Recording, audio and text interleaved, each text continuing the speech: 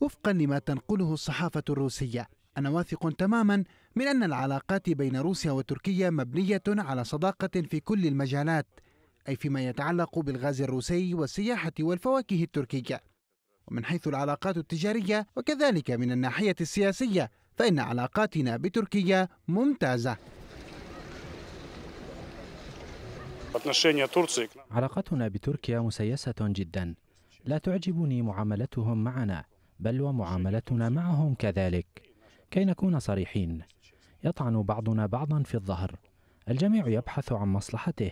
أما بالنسبة للملف السوري لقد مللنا من كل هذه الأخبار سواء أكانت سوريا أو تركيا أو أوكرانيا أو كورونا. هذا رأيي وسأكون شاكرا لكم لو تمكنتم من عرضه كما هو.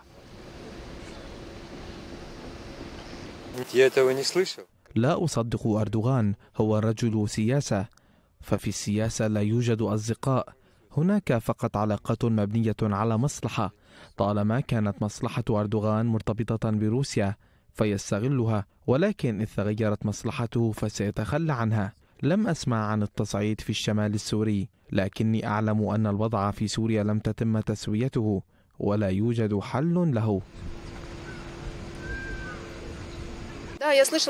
سمعنا عن زيارة أردوان من موظفي الفندق. أنا مع أن تكون علاقاتنا جيدة. نحن بعيدون عن السياسة ولكن يهمنا ألا يعاني قطاع السياحة.